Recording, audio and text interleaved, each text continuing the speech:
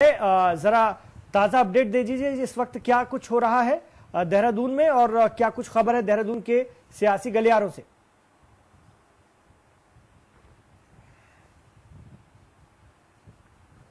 गलियारे में एक सियासी इस समय माहौल चल हुआ है, जहाँ पर पोलिंग बूथ सुबह से ही लाइनें लगी हुई है। सुबह आठ बजे से जैसे ही पोलिंग शुरू हुई है, मतदान शुरू हुआ है, लोगों ने पहले से यहाँ पे लाइन बनाकर खड़े थे, अपनी बारी का इंतज़ार कर रहे थे। और आठ बजने के बाद से अब तक के अगर, दो घंटे का अपडेट अगर कह सकते हैं तो दो घंटे में अब तक तो पूरे प्रदेश में 14 परसेंट से ज़्यादा मतदान हो चुका है और अकेले देहरादून में लगभग 8 प्रतिशत मतदान हो चुका है।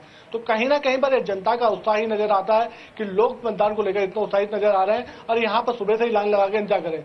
मैं इस समय बूथ नंबर फोर्टी पर खड़ा हूँ, जहाँ पर मुख्यमंत्री हरीश रावत जी आएँगे।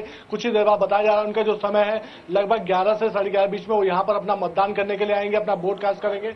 और जिस और उनकी वजह से यहाँ पर लगातार जो भीड़ बढ़ती जा रही है, लोग यहाँ पर पीछे लाइन लगा के खड़े हैं और ये कह सकते हैं कि मतदाताओं के मन में काफ़ी उत्साह नज़र आ रहा है इस मतदान को लेकर। बिल्कुल, और हमारे दर्शक टीवी स्क्रीन पर देख भी रहे होंगे कि नीचे हम लोग चला रहे हैं किस किस के बीच में मुकाबला है। अगर उत्तराखंड की बात कर लें, और या उत्तर प्रदेश की उन सीटों पर जहाँ आज वोटिंग हो रही है, बहुत, जो तगड़े कैंडिडेट हैं, या जो बड़े कैंडिडेट हैं, आप लगातार देख रहे होंगे। और किनारे में अगर आप देखते होंगे हमारे स्क्रीन में तो सीटवार स्थिति भी हम चला रहे हैं, कहाँ से कौन खड़ा हुआ है, और पहले किसने वहाँ से जीत दर्ज की थी। तो ये ज़रूर देखते रहा कीजिए आपको जानकारी के लिए। तो हमारे टीवी, टीवी स्क्रीन पर आप देखेंगे कि आपको हर बेसिक जानकारी हम देने की कोशिश करें। बहुत आसान लफ्जों में। सुमित जी को हमने बैठा के रखा। ये बहुत जाने माने पत्रकार हैं और बहुत आसान लफ्जों में समझाते हैं चीज़ों को कई संस्थानों से जुड़े रहे हैं इसलिए वो हम उनको हमेशा अपने साथ रखते हैं। और सुमित जी मुस्कुरा नहीं रहे लेकिन इस बात पे ये हाँ मुस्कुराया अब जरा अच्छा लगा। ना हँसी मज़ाक भी होती रहनी चाहिए क्योंकि बहुत मामला सीरियस ना हो जाए। दर्शन सिंह रावत जी भी मेरे साथ जुड़ गए वरिष्ठ पत्रकार है वो वहाँ से मुस्कुरा ज़रूर दीजिए। और अभय तो जुड़े हुए अभी बहुत ज़्यादा सीरियस लग रहे हैं। अभय आप इतने सीरियस क्यों हो गए? आपको क्या दिक्कत हो गई भाई? अभी सीएम साहब आने वाले हैं फिर हम आपका रुख करेंगे। लेकिन दर्शन सिंह जी आपकी मुस्कुराहट की वजह मेरी बात है। या फिर आप इस बात से खुश हैं कि अच्छी वोटिंग हो रही है उत्तराखंड में और कुछ अच्छे संकेत हैं उत्तराखंड के लिए एक स्थायी उत्तराखंड के लिए?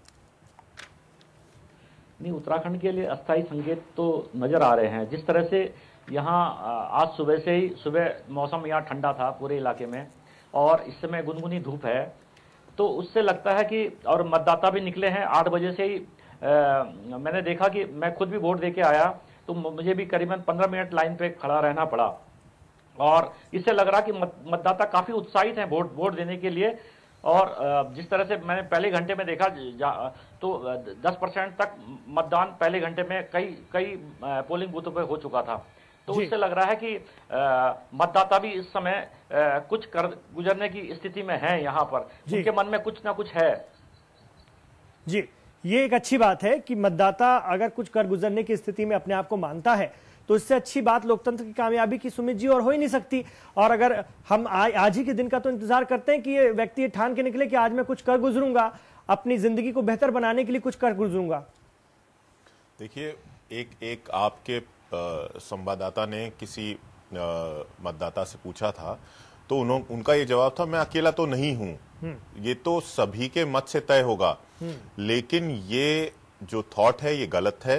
हर इंडिविजुअल का वोट बहुत ज़रूरी है और ऐसा कई बार देखने में आया है कि एक मत से व्यक्ति विधानसभा जीत जाता है हार जाता है या मुख्यमंत्री बन जाता है या मुख्यमंत्री पद से वो बनने से रह जाता है। हम्म।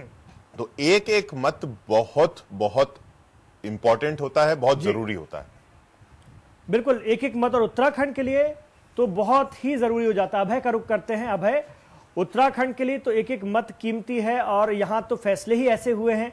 एक एक सीट से जो है सरकारें बनते बनते चूक गई हैं और वो दौर क्या होता होगा, वो तकलीफ़ क्या होती होगी, वो राजनीतिक दल ही अच्छी तरह से जानते हैं।